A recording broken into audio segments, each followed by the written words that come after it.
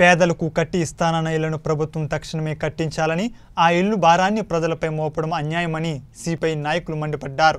ఎన్నికల ముందు ఇల్లు నిర్మిస్తామని చెప్పిన ప్రభుత్వం ఆ ఇళ్ళను మీరే కట్టుకోనని చెప్పడం అన్యాయమన్నారు.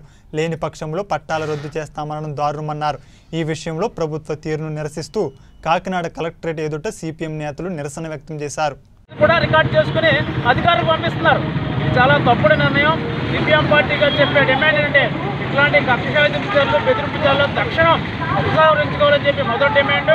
అట్లాగే రెండో డిమాండ్ అంటే ప్రభుత్వమే లబ్ధిదారుడికి ఇల్లు కట్టివ్వాలని చెప్పి రెండో డిమాండ్ ప్రభుత్వాన్ని డిమాండ్ చేస్తున్నాం. అట్లాగే మూడో డిమాండ్ ఇది కరోనా కాలం కష్టకాలం. అనేక మంది అనేక కుటుంబాల్లో మరణాలు సంభవించిన కుటుంబాలు చాలా ఉన్నాయి. పనులు లేవు ధరలు పెరిగిపోయి ఎప్పుడు అప్పులు పాలైపోయారు. ఇట్లాంటి నేపథ్యంలో ప్రభుత్వం అన్ని విధాలుగా ఆదుకోవాలి.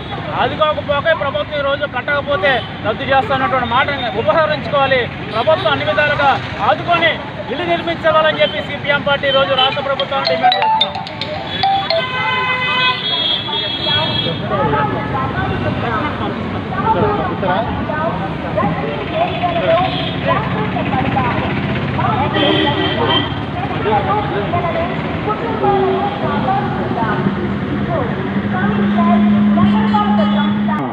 ప్రభుత్వం ఇచ్చిన పట్టాలను తిరిగి లాక్కోవడమా?